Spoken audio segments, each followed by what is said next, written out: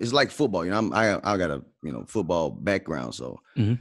to me, football is was my mentor. So like I, I have a lot of life lessons, business lessons that football taught me. And one, you know, to your point about the if if I'm selling more cars, the dealership is selling more cars.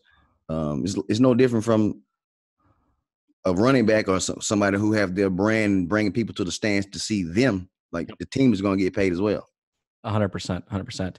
Now, it, it, you know, it's funny. Um, I find a lot of people that are, are are similar to you, doing a really good job of creating these personal brands.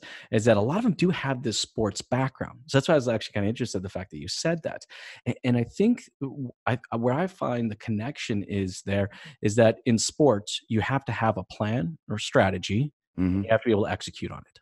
And, and, and that's what makes you good at sports is be able to you know work as a team create the plan and then just execute just do the damn thing you know Right. you'd be amazed how many um, linkedin messages i get or instagram messages or facebook messages i get saying you know hey i want to do what you guys do right i mean i, I want to do that you know but Mhm. I don't have that. You know, they, they seem to have this block inside of them. Maybe it's a lack of confidence, or or maybe direction, or something along that lines. But what I find is is that they all have great ideas. Mhm. An idea is only as good as how well you can execute it.